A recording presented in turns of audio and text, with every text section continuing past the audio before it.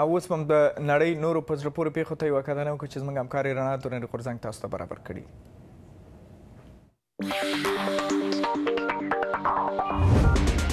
په دې ورستۍ کې د برازیل بس یا پول په ښار کې د ټلیفون غرفې د یوې نندارې په شکل بدل شوې د ښار هرې خواته چې ځینو مختلفه غرفې ستاسو سترګو ته کیږي چې په ډیرو جالبو ډیزاینونو سره سمبالې شوې دي دا ابتکار په لومړي سر کې د ښوونځي د ماشومان لخوا په لار اچول شوی وو او هغوی د خپل ښوونځي مخې ته د ټلیفون غرفې په مختلفو ډولونو سره تزئین کړې وې نو اوس دا کار د ښار هرې خواته وغځېدو او نوموړي ښار ته یې نوره هم ښکلا ورکړه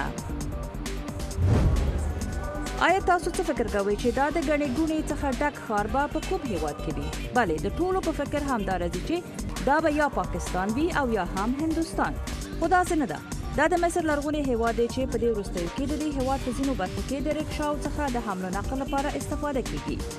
شپږ کاله مخکې په دې ځای کې دوه ریکشاوې په کار واچول شوې او یوازې سالیانانو به یې د یوې سیمې څخه بلې ته انتقالول اما په دې هیواد کې د خراب اقتصادي وضع له کبله اوس ډیر خلک په کارونو کې د ریکشاو څخه استفاده کوي خو تر اوسه پورې معلومه نه ده چې کوم هیواد دې ځای ته ریکشاوې د لومړي ځل لپاره را انتقال کړي دي په دوبۍ کې د اوښ پر سر د پولو لوبې تر سره شوې په دې لوبه کې نه یوازې دوبۍ وګړي بلکې نورو سیلانانو هم ګډون کړی وو د اوښ پر سر د پولو لوبې په دوبۍ کې ډېر لرغونی تاریخ لري او د پخوا وختونو څخه به خلکو دا ډول لوبې تر سره کولې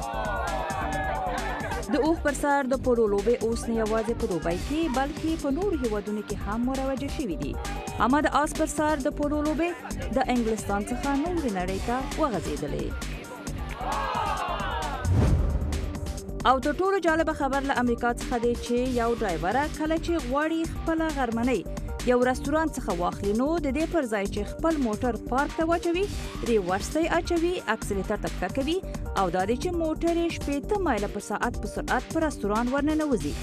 خو خوشبختانه هیچ چاته ځاني زیان نه دی رسیدلی او نوموړي رستوران ته مالی زیان ور ورسید نو کله چې د درې شپېته کلنې ډرایورې څخه پوښتنه وشوه نو هغې ورته ویل چې زه په ځان پوه نه شوم موټر مې سرعت ونیو او یو وخت چې ګورم زه د دنکن دونت په رستوران کې یم